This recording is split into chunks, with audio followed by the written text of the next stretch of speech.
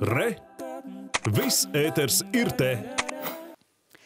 Automašīnu vērtība mazinās daudz lēnāk nekā ierasts. Iemesls tam ir neliels. Pieprasījums pārsniedz piedāvājumu.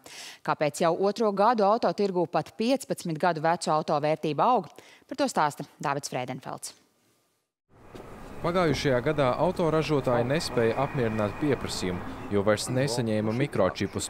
Lielākie uzņēmumi sāka tos ražot paši.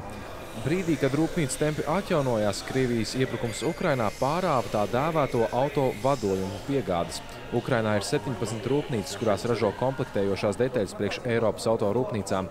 Piegādes tikai tagad lēnām sāk atsākties. Visa informācija, tīpaši mūsdienu mašīnām, ne tikai informācija, tiek novadīta no bloku uz bloku cauri vadiem. Un šīs te, ja nav vadu, tad nav iespējams saražot automašīnu. Un tā es, es teiktu, tas ir būtiskākais no elementiem. Tas nozīmē cenu kāpumu. Jauniem auto tas šogad bijis no 10 līdz 12 procentiem, bet lietot auto populārākiem modeļiem cenas kāpušas pat par 30 procentiem, lēš Latvijas auto asociācijā. Tāda situācija vēl nav bijusi, tāpēc īsti refleksija, kā, kāds ir tirgus. Tirgus ir tāds, kam ir mašīnas. Tātad tas ir kam ir pieejama šī produkcija, tas ir arī uzvarētājs, kam nav pieejama šī produkcija, tas ir arī zaudētājs. Ukrainas situācija ir praktiski izsūkusi, kā ar putekļsūcēju izsūkusi lētās pieejamās automašīnas aptuveni ap 100 tūkstoši mašīnas ir piegādātas no Lietuvas un Baltijas tirgus, uh, Ukrainas tirgumu vien vienā mēnesī.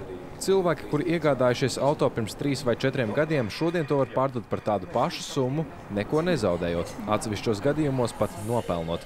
Lai gan tas nozīmē lielākas peļņas iespējas tirgotājiem, arī viņi atzīst, ka tā nav ierasta situācija. Kamēr būs piegāžu problēmas, ja šī piegāde būs tik ilga, kā viņi ir patreiz, tikmēr šīs automašīnu cenas noteikti turēsies arī otrajā segmentā, ja mazlietotajā segmentā. Ja tu nevari saražot un tev stāv rindā, nav, nav prāts tev mētāties ar atlaidēm. Jā, ir forši pārdot, bet ja jums ir iespēja nopirkt vietā. Luksus auto tirgū šobrīd automašīnas tiek pirktas, lai ar tām nopelnītu. Tās pārdodot pēc piegādes saņemšanas stāsta nozares pārstāvi. Bet vidējās klases auto tirgū tā dara reti.